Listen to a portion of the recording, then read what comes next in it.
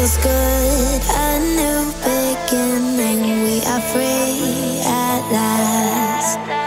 Living life just like we're supposed to. Goodbye to the past.